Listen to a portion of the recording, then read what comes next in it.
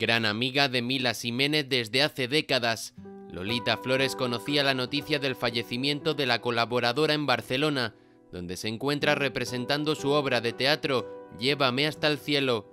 Destrozada, la artista se despedía de la periodista con un emotivo mensaje a través de su cuenta de Instagram. Días después, Lolita recupera poco a poco la sonrisa, gracias a su hija Elena Furiase y su nieto Noah.